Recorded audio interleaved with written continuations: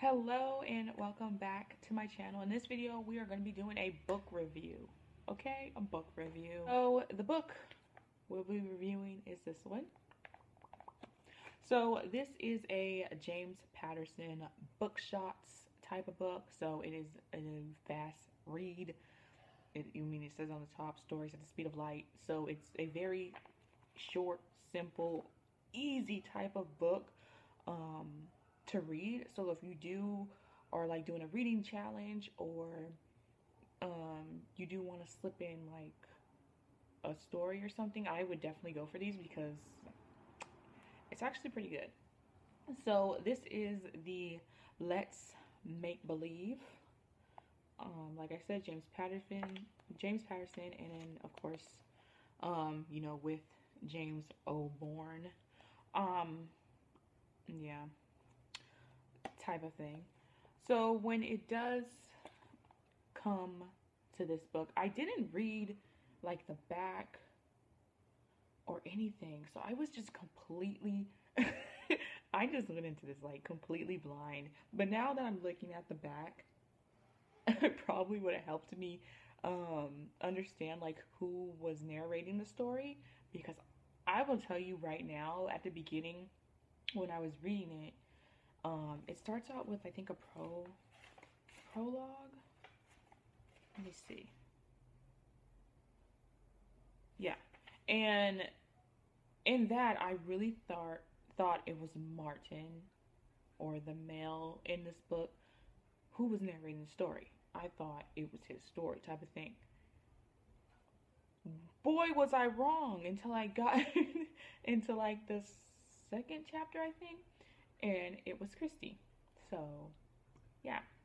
Um, I can read you the back. I'll read you the back. It says both survivors of a divorced war, Christy and Marty, don't believe in love at first sight, and certainly not on a first date. But for the instant they locked eyes, life became a sexy romance dream come true. That is, until the start playing of a strategy intense game of make believe. A game that's about to go too far. If I would have read that, I would at least had an outline of what the book was going to be about. Okay. So this book is like giving you a little summary of what it's about. It's about a divorced woman. Well, she they're both going. It's about a divorce. She's not divorced yet. Okay, she's getting a divorce. Okay. Um, from her husband. This book is based in Florida getting a divorce from her husband. They're still going to court, you know, doing the whole type of thing. She signed a prenup that he gave her literally, I think, the day of their wedding or something like that, like something crazy like that. So she got nothing. She's getting nothing in the divorce, and she's going to court basically to fight and try to get at least something, but she's getting nothing. Um, and then there is, you know, and then she you know, she's at this bar and then she meets this guy. His name is Mart Martin, but they call him Marty, or she calls him Marty. I don't know where the whole Marty thing came from because his name was Martin. and that kind of confused me. But um basically they start hanging out, they like each other. They had like a good type of vibe. Um she he was putting her out of her comfort zone making her do things that she wouldn't normally do. For instance um, they have a hookup type of scene kind of like i think there was two or three um, type of hookup type of scenes. And basically he's also a like going through a divorce from his ex-wife. And they start to do really crazy things that leads to people being shot dead. So yeah. So getting into characters, I did take notes because like I said, once it started becoming that Martin to Marty type of thing, I was like, oh no. Um, so like I said, there's the main character, her name is Christy. So she's the person that is, you know, talking in the book. Um, type of thing. It's her story. It's about her ex-husband. A lot. A lot to the point where you're like, why is she still bringing this dude up? Like, I understand he has money. I understand you had nothing.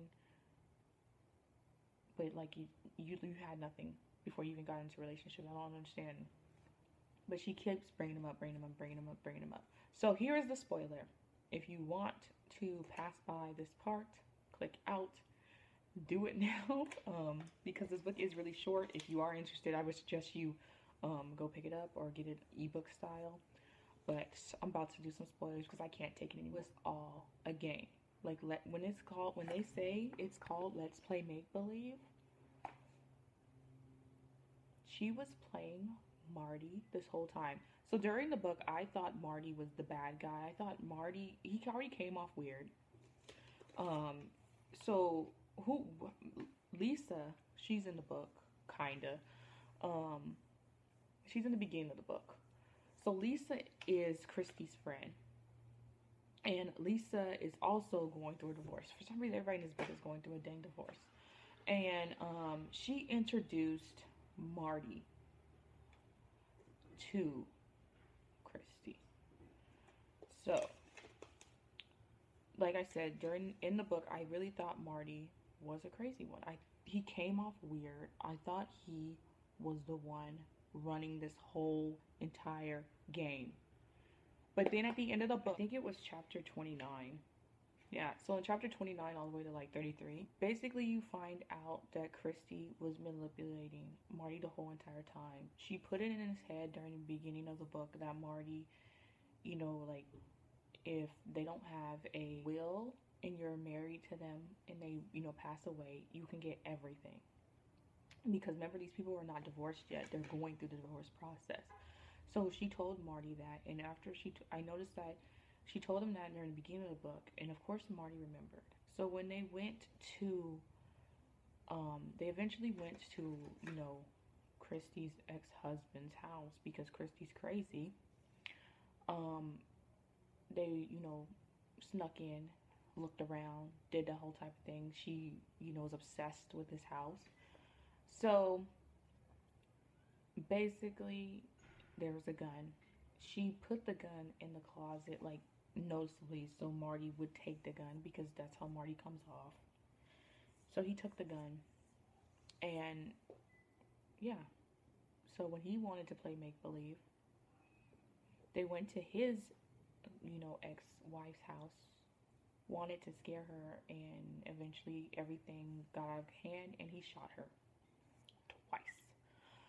Um, so yeah, they tried to cover that up. He was in total shock. I thought it was all a fake until you realize at the end that it wasn't fake. He he really didn't mean to do that. He actually really really loved his ex-wife. Like obsessively loved his ex-wife. And it was all her. Um she eventually goes to wants to play make believe the next day after them doing this. And she goes, wants to show off Marty to her ex-husband, and it, that was all her game, basically. She wanted to play a game. And the game ended up with Marty dead. And her ex-husband dead, because she shot them and made it seem like they were shooting each other, and she called police, and basically, at the end of the story, who gets everything? She does. She gets the house. She gets everything materialistic. She didn't care at all about her husband when it comes to rating this book, I think I don't know. I would rate it a good like three and a half um, stars because it was really good. It was very suspenseful, literally, because I was blindsided by the whole who was in control. Because I would never thought Christy was in control. Like, what? And she just manipulated everybody now I now I kind of get why her husband just like didn't want to be with her. Like she's crazy. Um, yeah, so I would give it a three and a half. Um, because I did get tired of her always talking about her husband and what her husband had and how they met. Like when you meet as somebody new, when you're going through a divorce, or even if you're not, but when you meet somebody new and you're talking to that other person that potentially likes you or you're trying to like you know, have some type of relationship with, you don't keep bringing up your past. Like, I can understand, you know, like the first time they're talking type of thing, like getting to know each other. Oh, you're going to a divorce? Yes, you know, it was like this, like that. Like, understand that. And as you get a little closer, I understand you was sharing probably a little bit more, but she kept and kept and kept and kept on going after dates and after dates they had. Kept talking about her ex-husband, kept talking about how he looked, kept talking about it was too much. It was too much for the story.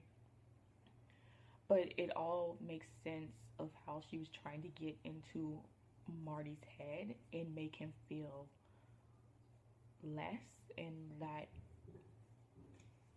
he, you know, needed to step up his game even though he was very sweet to her. Oh my gosh, I just yeah. So yeah, I mean that's the review for this. I probably was everywhere, but yeah, I do highly suggest you get it. I mean, if you um, have the time and you're not interrupted to read, you can easily get through this. Like in a couple of hours. Like it's not it's not that difficult, but if you're like me and you have a kid and um it could take a little bit longer, but it didn't take me that long to read this. Yes, I hope you enjoy that review and I hope you do check out the book and I will see you guys in my next video. Bye guys.